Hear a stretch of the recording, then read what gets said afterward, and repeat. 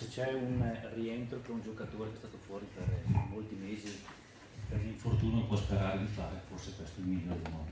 Ma sicuramente non potevo chiedere di meglio. Alla fine vincere in casa davanti al nostro pubblico parando un rigore e tenendo la porta a zero è una cosa bellissima. Roberto? Eh, fai, fai chiudere. Daniele?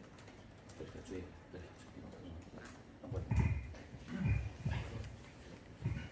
Ciao, hai parato a rigore, ti chiedo, è nelle tue corde oppure è stato un caso?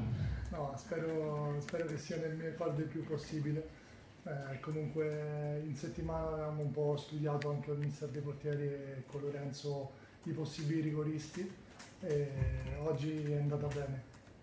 A proposito di Lorenzo, come vivi il rapporto con Lorenzo? Ma molto bene, devo dirti la verità fin dal primo giorno c'è stata complicità, c'è stato molto rispetto fra di noi e anche oggi eh, come a Pisa si è dimostrato questa lealtà.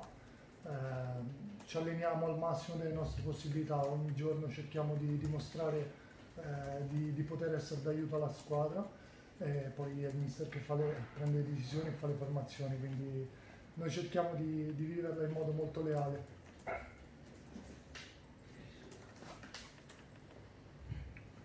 Che hai saputo che avresti giocato perché Ma, nessuno se lo aspettava. No, lo so. Perché comunque Lorenzo aveva fatto bene sì, a no, Pisa, molto bene. Il mister mi ha, mi ha, fatto qualche domanda eh, qualche ora prima della partita, mi ha chiesto come mi sentivo, se, se mentalmente e fisicamente mi sentivo pronto per, per, affrontare la gara. Io ho detto di sì, e quindi poi la decisione è stata del mister.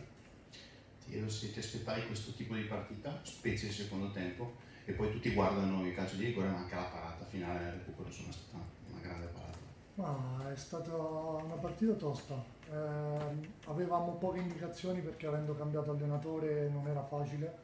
Eh, sicuramente giocare in casa contro la neopromossa eh, ancora di più poteva creare insidie nel secondo tempo ci siamo abbassati parecchio eh, potevamo magari cercare di far meglio, ma come in tutte le partite analizzeremo cosa è andato e cosa non è andato. Eh, quindi credo che comunque sia stata fatta una vittoria importante per darci anche morale. Solitamente si dice che tra portieri ci deve essere una gerarchia perché il portiere ha bisogno di continuità e di sapere che lui è il numero uno.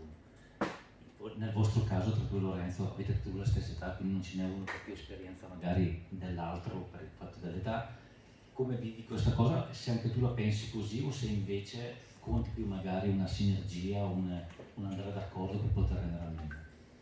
Ma secondo me, come in tutte le cose, in tutti i mestieri credo, la, la lealtà e il rispetto che si creano fra i compagni è molto importante. Eh, quello che penso io sinceramente a poco conto è importante quello che pensa il mister, quindi questa è più una domanda per lui eh, io cerco veramente tutti i giorni di aiutare i compagni, aiutare me stesso e dare il massimo. Grazie.